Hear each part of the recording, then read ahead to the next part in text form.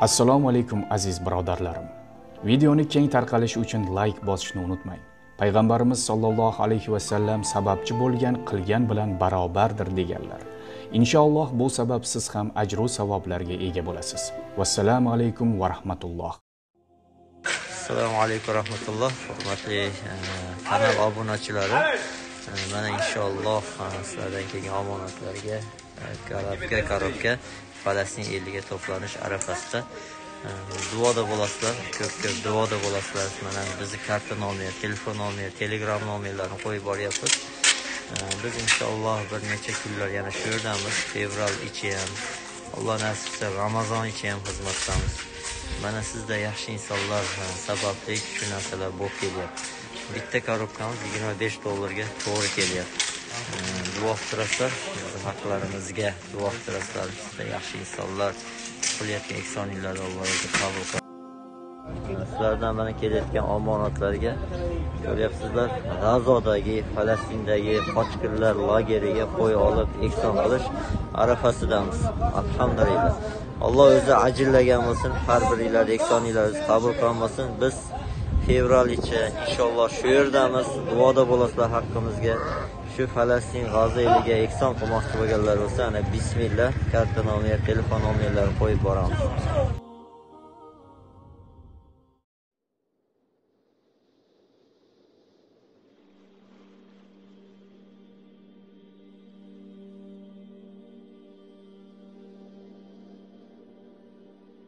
استعيذ بالله يا أيها الذين آمنوا لا تقدموا بين يدي الله ورسوله ey iymon keltirganlar Alloh va uning payg'ambari oldida u ikkisining iznisiz biron so'zni aytishlikka yoki biror bir ishga qadam bosishlikka shoshilmanglar.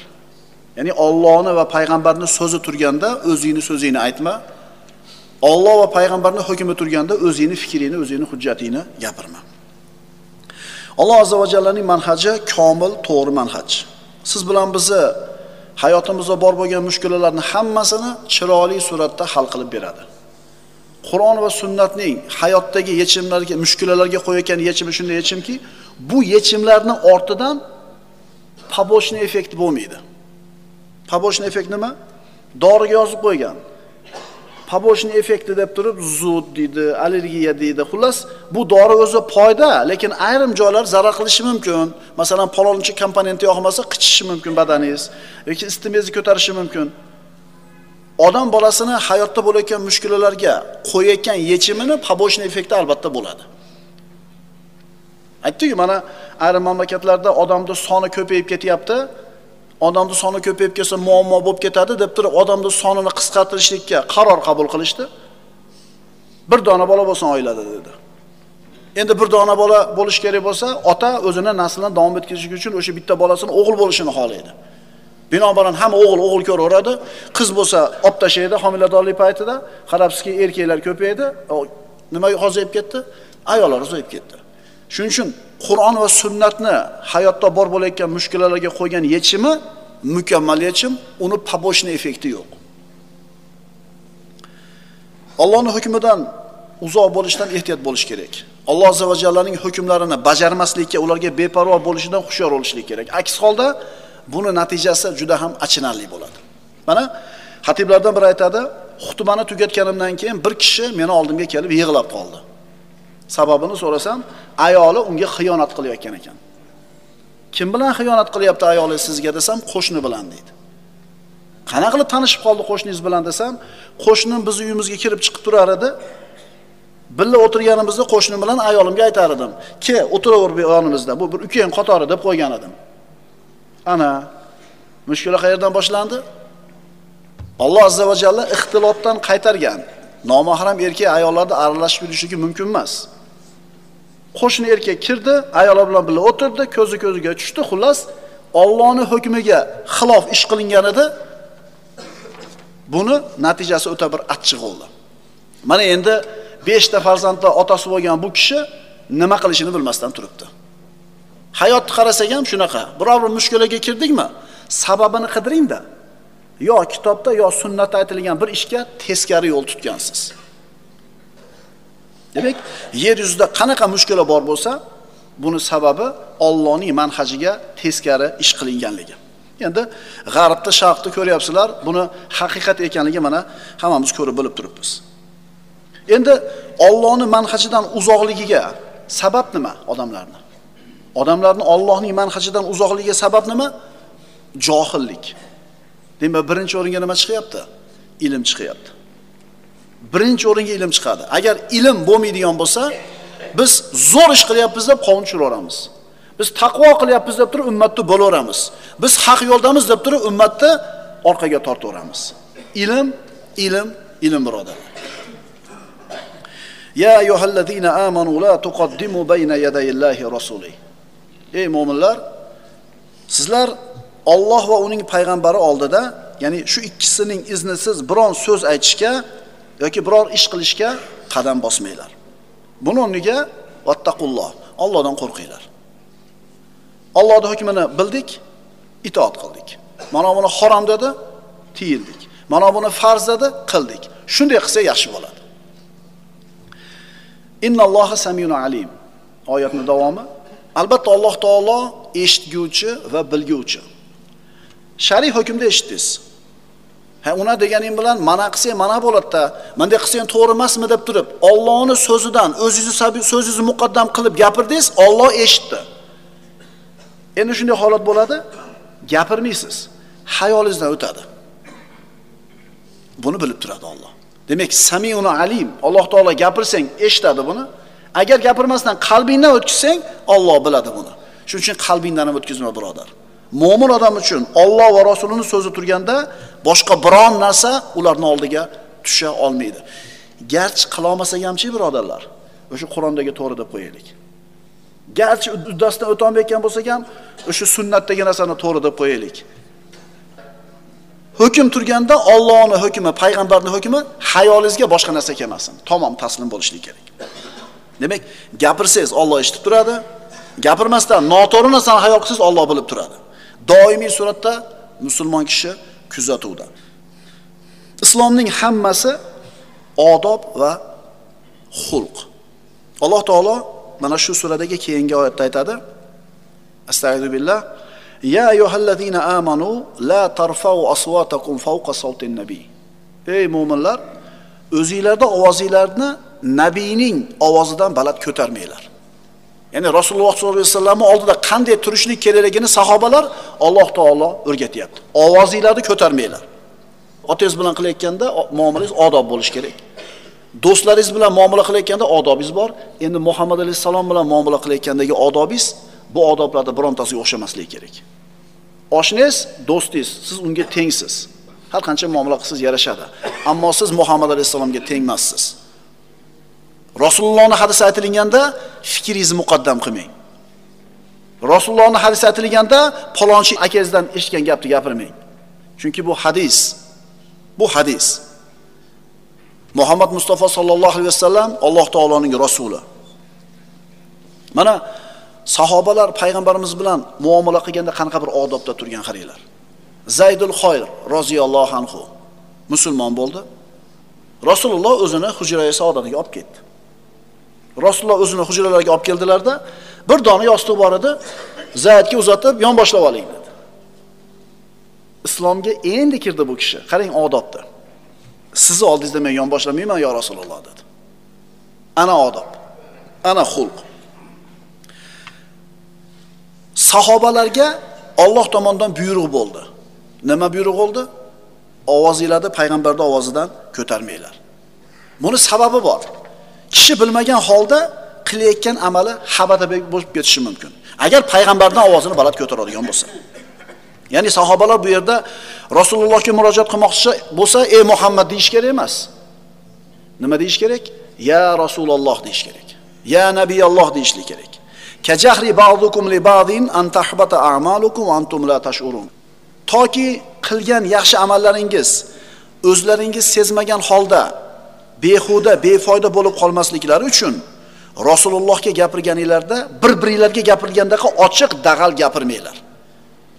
Sahobalar agar payg'ambarimizga dag'al muomala qilsa amallari habada bo'lib ketishini Alloh taolo aytyapti Kamtarlik va odob mo'minning sifatlaridan. alloh taolo sahobalarga payg'ambardan ovozinglarni baland qilmanglar dedi endi payg'ambarimizga ham buyruq berdi. Sahobalar bilan qanaqa muomala qilishlik kerakligini astag'idbillah vahfiz janahaka liman ittabaka minal mu'minin.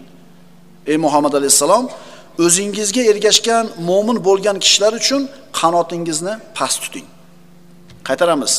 Sahobalar payg'ambar bilan muomala qilganda ovozini ko'tarmay odob bilan turish kerak. Rasululloh o'zining sahobalari bilan muomala qilayotganda ularni oldida kamtarona turish kerak qanotini past tutishligi kerak. Mana rasululloh ayni shunday muomala qilganlarini bir qancha dalillarni ko'rib chiqamiz. Rasululloh sollallohu alayhi vasallam bir to'p sahobalar bilan safarda edilar to'xtashib bir qo'yni pishirish kerak bo'ldi. Bir sahoba aytdi men qo'yni so'yaman dedi. Ikkinchisi aytdi men terisini shilaman dedi. Uchinchisi men pishiraman dedi. Rasululloh aytdilar va alayya jamul xatob men o'tin terib kelaman dedilar. Mamlakatdagi birinchi odam. Musulmonlar jamiyatidagi eng oliy inson.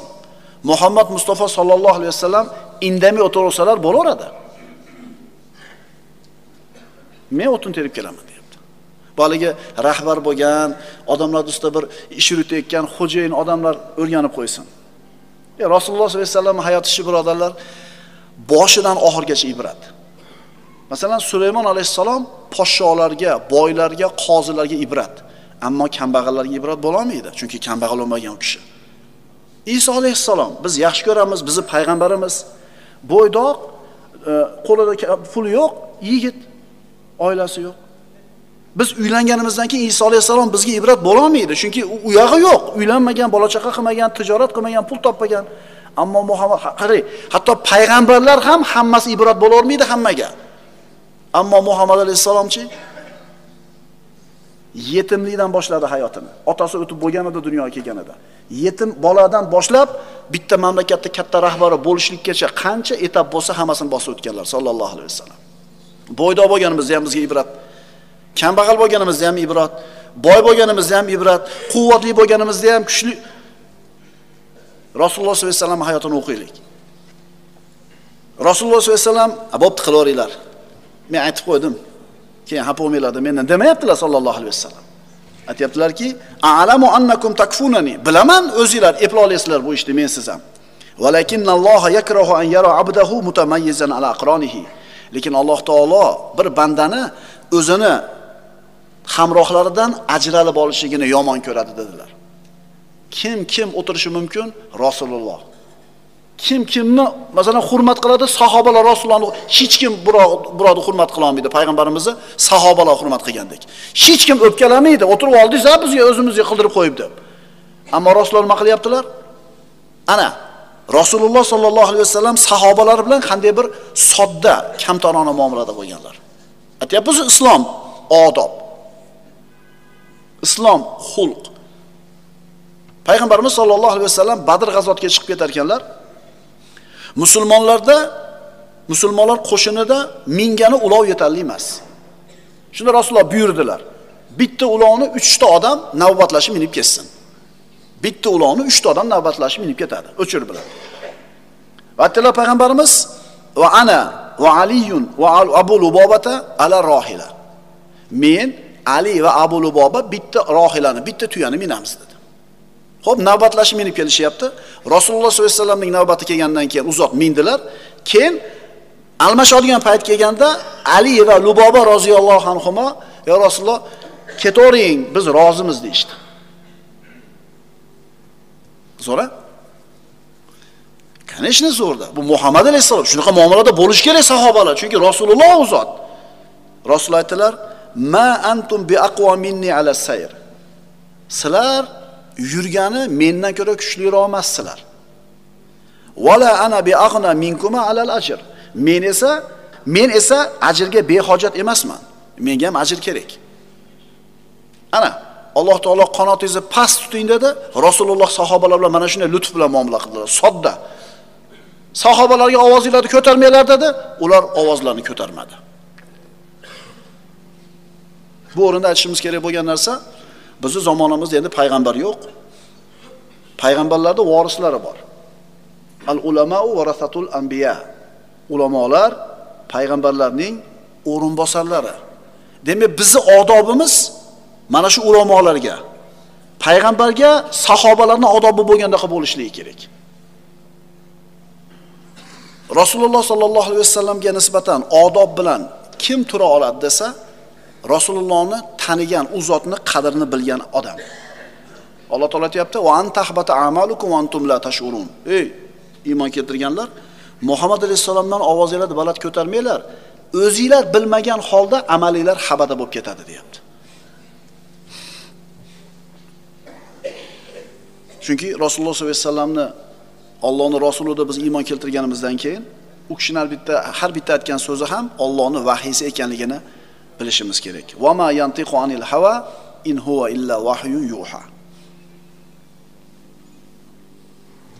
Ammo payg'ambarimizga o'zimizni teng bilsak, rasulullohni bitta so'zini qabul qilib ikkinchisini qaytarayotgan bo'lsak, o'zimizga muqaddam qilayotgan bo'lsak, bilmagan holda amallarimiz habada bo'lib ketib qolishlik xavfi bor. Ilmning dalili odob. Odob ilmning dalili. Ilm talabida yurgan ukalar, agar odobimiz o'rnida bo'lmasa, demak bizda ilm yo'q. Odob yo'qmi? Demak ilm yo'q ekan unda. Odob sizni ilmingizga dalolat qiladigan miqyos o'lchov bo'ladi. Alloh taolo aytadi, keyingi oyatni o'qiymiz. Astagfiru billah. إن الذين يغضون أصواتهم عند رسول الله أولئك الذين امتحن الله قلوبهم للتقوى albatta Allohning payg'ambari huzurida ovozlarni past qilgan zotlar ana o'shalar Alloh dillarini taqvo uchun imtihon qilgan, ya'ni taqvo imtihonidan o'tgan kishilar. Payg'ambarimiz sollallohu alayhi vasallamning sahobalari Rasulullohga shunday muomalada bo'lishdi, chunki Rasulullohning qadrini bilishgan. Rasulullohni yaxshi ko'rishgan. Biz ham Rasulullohni qadrini bilamizmi? Shariat bizdan talab qilgandek Rasulullohni yaxshi ko'ra olyapmizmi? Agar yo'q, talab darajasida emas desak, o'zi shunaqa. Sababi Rasulullohni tanimaganligimiz. Faraz qiling, aeroportda samolyot qo'ndi. Shu samolyotda kelganlarni kutgan odamlar chiqdi. Shularning orasida ko'z kasallar bo'yicha nihoyatda bir yetuk mutaxassis bor. Uni kutgani 3-4 ta tabib chiqqan. Odamlar tanimaydi boyagi tabibni. Bir juda ko'p ko'zi bir ko'zida dardi bor kishilarni dardini kesishiga sabab bo'lgan. Ko'zi ko'rladi ehtimol ko'zini ochgan. Endi mana shu kishi kirib kelyapti samolyotdan tushib. U kishini kim qadriga yetadi? Xuddi shu kishiga o'xshagan ko'z tabiblari qadriga yetadi. Qolganlar uchun oddiy odam. savdogar uni qadrlamaydi. Savdogar o'ziga o'xshagan savdogarni qadrlaydi. To'g'rimi? Agar biz Rasulullohni qadrlay olmayotgan bo'lsak, yaxshi ko'ra olmayotgan bo'lsak, demak hali tanimabmiz Rasululloh sollallohu alayhi vasallamni. Shuning uchun musulmon odam ham uni qadriga yetadigan odam bilan birga yurish kerak. Siz fazilat degan narsani fazilatda bilsin u odam, shu bilan birga bo'ling. Siz ayb degan narsani u ham shu aybda bilsin. Shunaqa odam bilan bo'ling. Chunki siz iymondasiz, namozda, zikrda, Qur'on tilovat qilasiz. Sizni qadringizga yetadigan bilan birga bo'ling. Agar din, diyonatdan bexabar, faqat dunyoda quli bo'lgan odam bilan birga bo'lsangiz, oyligingiz qanaqa deydi? Topish tushingiz qanaqa deydi? U uchun birinchi narsa nima sizdagi qadrli narsa? Pul. Sizni yuzga borib qolsa mabodo. E qana yashayapsan bu yerda deydi. Shu ham hayotmi deydi. Qana sig'yapsizlar bu yerga deydi. Shuning uchun bizni qadrimizni bilgan odamlar bilan birga bo'laylik. Musulmon birodarlar. Ma'qulmi?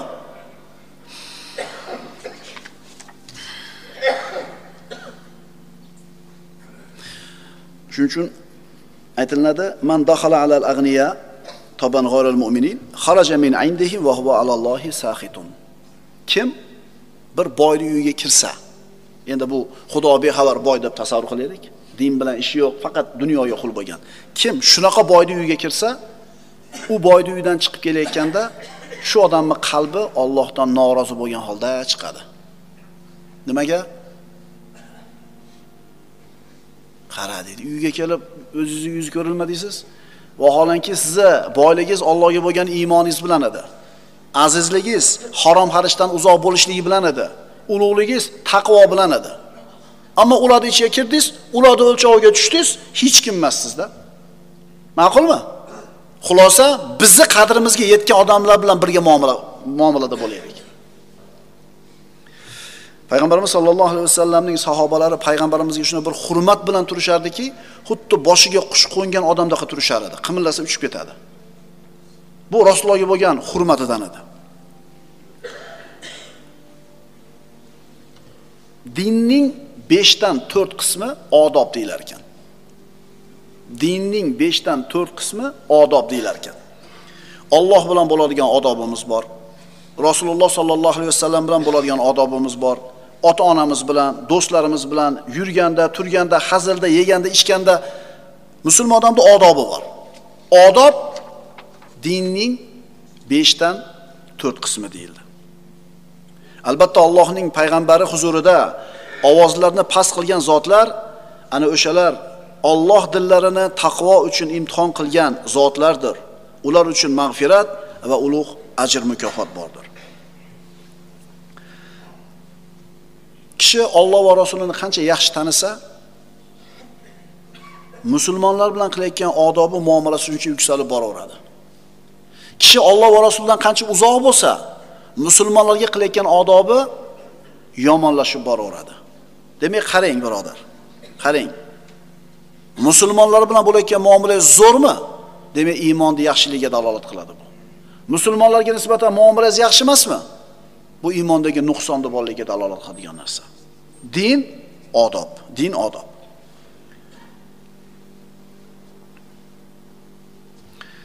Keyingi oyga o'tamiz. Astag'firullah. Innal ladina yunadunaka min varoil hujurati aktharuhum la yaqilun. Albatta hujralarning ortida turib sizni ey muhammad alayhissalom chaqirayotgan kishilarning aksariyati aqllarini ishlatmaslar. To'qqizinchi yilda payg'ambarimiz sollallohu alayhi vasallamning huzuriga madinaga banu tamim elchilari kelishdi. Peshindan keyingi vaqtida rasululloh hujrasiga kirib ketgandilar. Ular kelib baqirishni boshlashdi. Ey muhammad chiq bu yoqqa chiq bu yoqqa biz keldik. Alloh taolo aytyapti ko'pchiligi aqlini ishlatmaydi. Walau annahum sabaru hatta takhruja ilayhim lakana khayran lahum vallohu g'afurur rahim. Agar ular deyapti alloh taolo banu tamim elchilarini albatta sizni chaqirib bezovta etmasdan sabr qilganlarida o'zlari uchun yaxshiroq bo'lar edi. Alloh mag'firatli mehribondir. Demak banu tamim elchilari haqida mana shu oyat nozil bo'ldi. Hozir aytdik kishini Alloh va rasuliga bo'lgan iymoni kuchaygan sari musulmonlar bilan qiladigan odobi kuchayib borar ekan. Kishi Alloh va rasulini tanigan sari iymoni ziyodalashgan sari iymoni quvvatlashgan sari Allohning shariatiga bo'lgan hurmati ziyodalashib boradi. Va man yu'azzim sha'airalloh fa innaha min taqval qulub. Allohning shiorlarini qonun qoidalarini kim hurmat qiladi? Mo'min kim Allohning qonunlarini hurmat qilsa bas albatta bu hurmat dildagi bor taqvo sababli. Payg'ambarimiz sollallohu alayhi vasallam bilan sahobalar qanday muomala qilishgan? Bir sahobasini qo'lida rasululloh tilla uzukni ko'rib qoldilar. Shunday oldilarda otib yubordilar. Tilla uzukni irg'itib yubordi. E pulu! Haligi sahobaga aytishdiki shu uzukni olib sotib pulidan foydalansangiz bo'lmaydimi? Ma'qul gap. U kishi nima dedi? Rasululloh otib yuborgan narsaga qo'limni tegizmayman dedi. Ana odob. Ana rasululloh bilan bo'ladigan odob qanday bo'lishligi kerak? Roziyallohu anhum ulardan Alloh rozi bo'lgan. Mana shunday bir Allohning roziligiga loyiq sahobalar bo'lgan ular. Alloh hammalaridan rozi bo'lsin.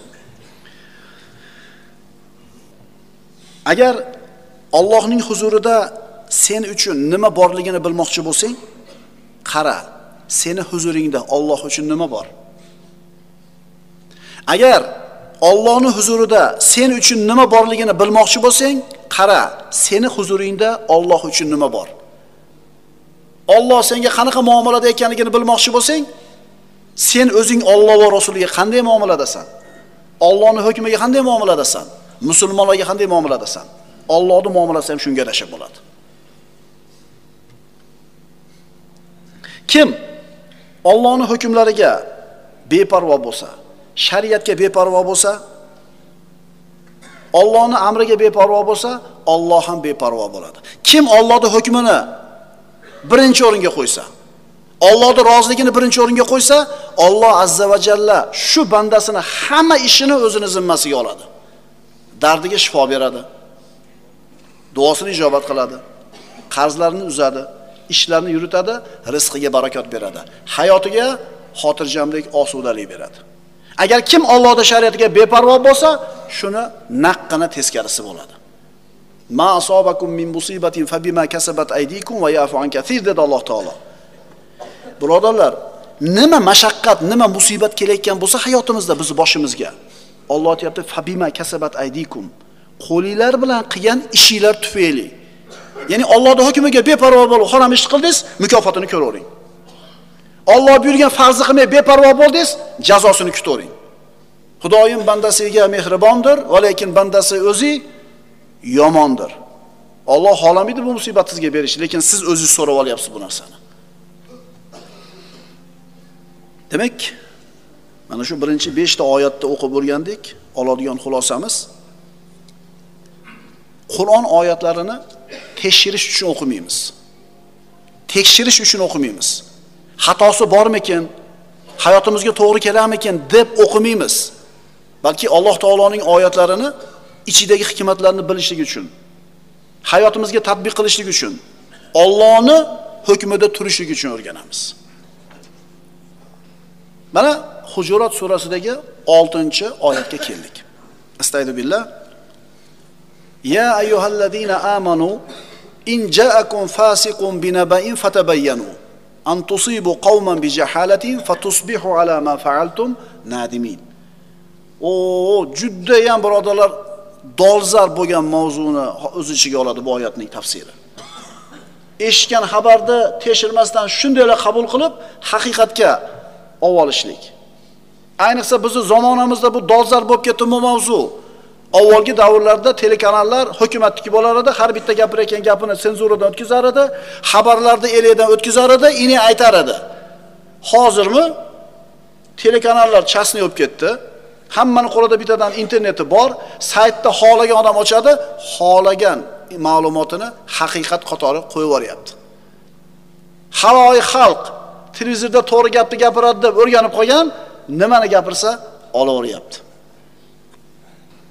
Ey mu'minlar, agar sizlarga bir fosiq kimsa biron xabar keltirsa, sizlar haqiqiy ahvolni bilmagan holingizda biron qavmga musibat yetkazib qo'yib, qilgan ishlaringizga afsus, nadomat chekib qolmasliklaringiz uchun u fosiq olib kelgan xabarni tekshiringlar. Eshitdinglar mana bo'ldi. Eshitdinglar mana bo'ldi, e mana bo'ldi. O'zi sen eshitding, ko'rganing yo'q. Endi sen shuni aytasanki, ko'rgandek qilib aytasan. To'g'ri aytyapmanmi? Mana bo'pti ham emas. E mana bo'ldi. Sen o'shadamiding? Sen ayt. Shunaqa deyishdida. Chunki ertaga yoqingdan olganda menga ham shunaqa deyishuvdi, shuna dodimda. Biz musibatimiz o'zimiz ko'rgandek, o'zimiz bilgandek qilib aytamiz bu narsani. Va mana shu bizning zamonimizda nihoyatda fosh bo'lib ketdi. To'g'rimi? To'ppa to'g'ri. O'zi payg'ambarimiz sallallohu alayhi vasallam aytganlar, kishi eshitganki narsasini ko'tarib yurishligi yolg'onchilik uchun kifoya qiladi. Kishi eshitganki gapni tekshirmasdan ko'tarib yurishligi yolg'onchiligiga kifoya qiladi. Jon akalar, palonchi manaqa ekan desa shart olmanglar. Sen ko'rdingmi deylar. Kimdan eshitding? Men borib o'sha odamdan so'rayman deylarda shunaqa g'iybat qiladigan gap tashlaydiganlarda oyog'i qirqiladi. Mashaqa ekanmi? Ha, men borib so'rayman. Borib aytaman, seni shunaqa dedi deb aytaman.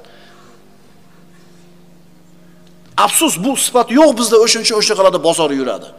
Ey iymon keltirganlar, bir fosiq xabar olib kelsa, tekshiringlar. Haqiqatni bilmasdan turib, uni gapini haqiqat deb bir qavmga ozor berib qo'yib, keyin pushaymon yemasliklari uchun xabarni nima qilinglar? Tekshiringlar. Bir kishi bir mushkula muammo haqida ma'ruza eshitdi, kitob o'qidi, uni yechimi haqida ham xabardor bo'ldi, parvo qilmay o'tkazib yubordi. Keyin keyin shu mushkulaga kirib qoldi. Puli ketdi, asabi ketdi, vaqti ketdi, xullas mushkuladan chiqib ketdi yechimini topib. Achchiq tajriba evaziga yechimdan chiqdi. Achchiq bo'lsa ham tajribasi bor. Keyin haligi avval o'qigan kitobi bilan avval eshitgan ma'ruzasini eshitdi. Bilasizmi? Ikkinchi marta shu mushkuladan kirib, mushkulaga kirib chiqqandan keyin eshitgandagisi boshqacha bo'ladi. Chunki boshini o'tkazgan Masalan, qarzni oldi berdini yozib qo'yishligi kerak haqida oyatni o'qidi, parvo qilmadi. O'zi katta mushkulani yechmaydi bu. Keyin pul berdi, yozib qo'yish esdan chiqdi. Keyin puliga kuydi. Endi kuygandan keyin shu oyatni o'qidi. Ya ayyuhallazina amanu idza tadayantum bidaynin ila ajalin musamman faktubu. Ey iymon keltirganlar, bir-biringlar bilan qarz muomalasini qilsanglar, yozib qo'yinglar. Endi bilasizmi, qalbiga xuddi toshga o'yilgan naqshdek o'yilib qoladi bu oyat. Nima uchun? Burniga suv kirdida, boshidan o'tkizdida, agar biz shariat hukmlarini albatta boshimizdan o'tkazgandan keyin emas, birinchi marta o'qib eshitganimizda shunday bir haqiqat qilib olishni o'rgansak, juda mushkulalarni kattalarini oldin olgan bo'lamiz. aqulu qawli hada va astagfir assalomu alaykum yurtdoshlar. Uzmigrant servis sizga o'zining xizmatlarini taqdim etadi agar siz rossiya davlatiga kirishda qandaydir deportatsiya yoki zapret olgan bo'lsangiz kimga tekshirtirishni bilmay ikkilanib yuribmisiz? Albatta bizda hamma ma'lumotlar garantiya asosida tekshirib beriladi. Agar sizda deportatsiya yoki zapret bo'ladigan bo'lsa qachon kim tomonidan qo'yilgan nima sababdan qo'yilganligi qaysi statya bo'yicha qo'yilganligi necha yil bo'lganligi hamma ma'lumotlar to'liq holatda taqdim etiladi va barcha ma'lumotlar o'zingizga telegram yoki whatsapp orqali o'zingizga jo'natib beramiz. Va shu bilan birgalikda deportatsiya yoki zapretni ochish imkoniyati bor yoki yo'qligini ham ko'rib chiqamiz ha aytgancha rossiyadan o'zbekistonga yokida tojikistonga qirg'izistonga aviabiletlar kerak bo'ladigan bo'lsa eng arzon narxlarda biletlar ham sotib olishingiz mumkin.